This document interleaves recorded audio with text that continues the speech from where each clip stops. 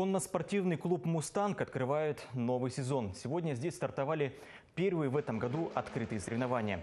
В течение четырех дней свои силы попробуют 70 наездников из Мегиона, Югорска, Ханты-Мансийска, а также Нефтеюганского и Сургутского районов. Участникам предстоит выявить лучшего в конкуре, выездке и паралимпийской выездке.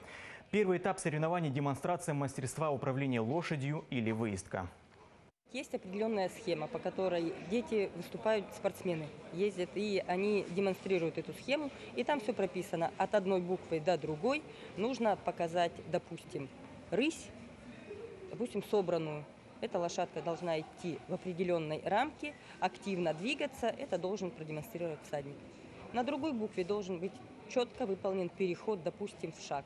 Шаг также собранный, это тоже определенная рамка и активное движение вперед. То есть все это оценивается судьями.